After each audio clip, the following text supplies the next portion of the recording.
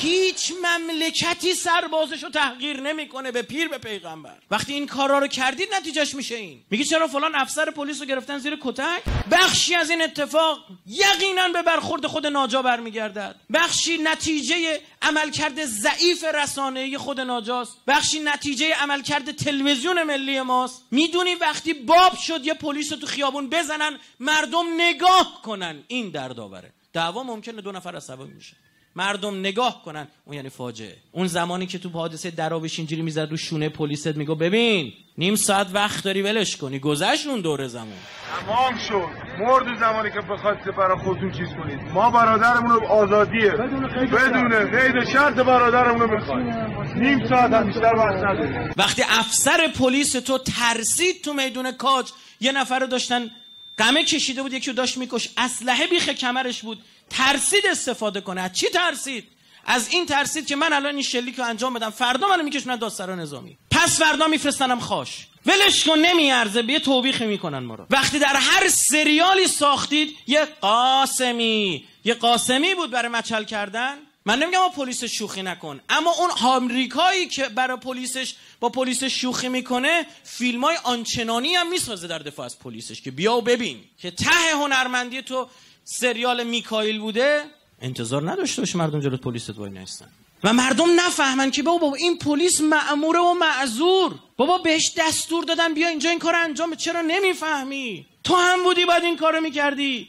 بابت تمرد تو یقینا توبیخ خواهی شد. قطعا این حرفایی که من می‌زنم ناراحت خواهد کرد یک عده‌ای رو ولو در ناجا. اما من نمی‌تونم جواب وجدانم رو بدم. پلیسی که خونش هشگرده محل کارش ورامین اینطور اجاره ها رفته بالا. روزی دو ساعت سه ساعت تو راه. شما نمی‌بینید خبر ندارید فقط خودتون رو می‌بینید. چون همیشه پلیس رو روبروتون دیدید. چون همیشه مراقب بودید جریمتون نکنه. منصف هستید؟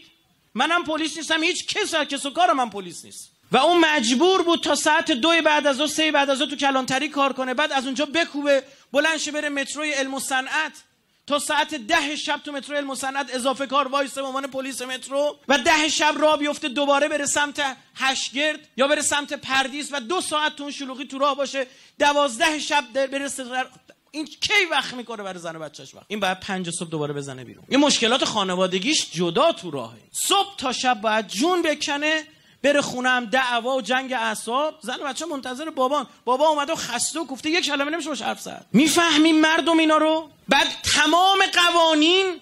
نیروی انتظامی پاسخ میگه قوانین اینه. درست کنید قوانینو. یه نماینده مجلس سر یه دونه اداره کل این ور اونور شدن میره کری می‌خونه برای سیستم امنیتی کشور میگه اگه این کارو بکنید مردم شهر من میریزن تو خیابون. شما نمی‌تونید برید از پلیس دفاع کنید؟ قوانین رو درست بکنید؟ بله این قوانین رو درست کن. اون موقع اون پلیس پدر سوخته ای هم که خواست رشوه بگیره پوستشو بکن چه انتظاری داری؟ مردمی که عادت کردن سطحی قضاوت بکنن. تو برو تو یک کشور غربی برو بگرد پیدا کن. ببینم کی جرأت می‌کنه به پلیس دست بزنه. به قرآن قسم. یه خشاب تو سینش خالی می‌کنه. نه پلیس راهنمای رانندگیشون اصلا پلیس راهنمای رانندگی ما مسلح نیست. میگه دستاتو بذار رو فرمون پلیس آمریکا. دیر دستتو بذاری رو فرمون میگه من تشخیصم بدید می‌خواست بزنه. نه تا گلوله تو سینش خالی می‌کنه. بازی می‌کنه. همین چند وقت پیش دیدی با ماشین زد به بچه؟ تشخیصم برای اینو محکم داریم یه سمت من میدوه. کدام کشور رو دیدید که زامن امنیتش رو تحقیر کنه؟ پلیس تصمیم گرفت اون رو دستگیر کنه ببره. چه جوری باید ببره؟ یارو نمیاد. شما هر جوری بگید اونجوری ببرش. تو کشور غربی چیکار می‌کنن؟ یارو بگه نمیام. همچین شوکه رو می‌ذاره زیر گلوی طرف که همونجا اگرم مردم که به درک مرد. می‌خواست بیای. تو وقتی نمیای یعنی مجرمی.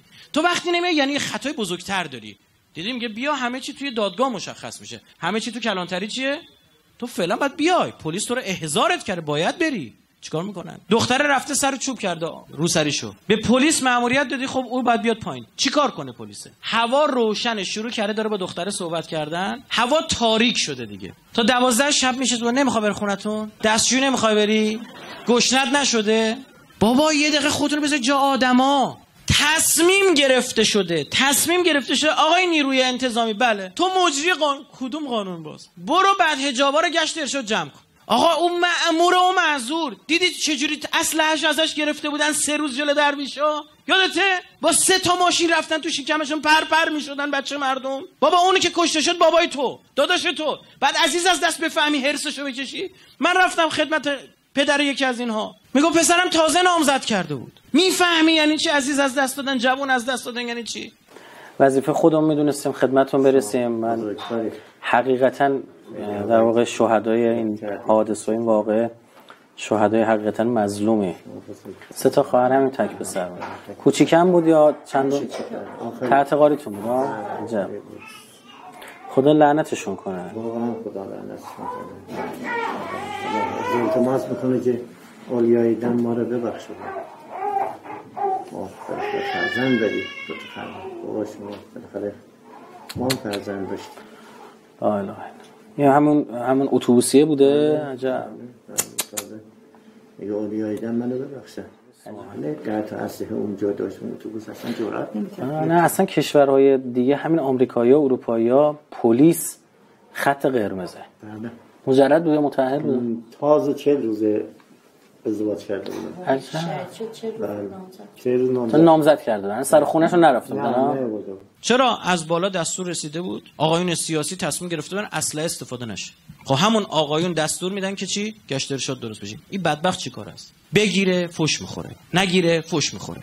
من نمی‌فهمم از این ور شما خودتون میاید قوانین رو می‌ذارید او رو ملزم می‌کنید این کار رو انجام بده؟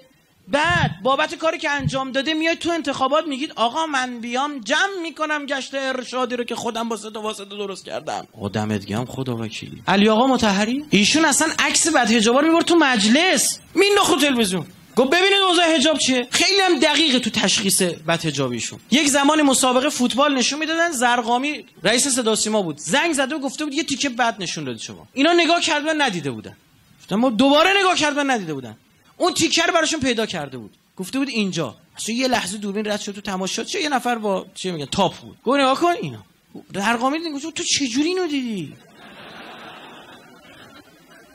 آقا چه به چه زبان؟ به همین امیرالمومنین به همین قدیر قسم. من این حرفایی که دارم می‌زنم برام ضرر داره. یعنی فقط باید فوش بخورم. می‌دونم تیکه تیکه صحبت شد. دفاع رائفی پور از آن کسی که این کار را کرد. از دو طرف هم می‌خوری. از من نیرو انتظامی شاکی چرا گفتی؟ ما خوب حمایت نمی کنیم رسانه ای ضعیفیم. اتونا به سرداره اونا بر بخوره. از اون طرفم به یه جماعت چرا گفتی اون رو؟ عیبی نداره. من فوش بخورم. شما بفهمید میارزه.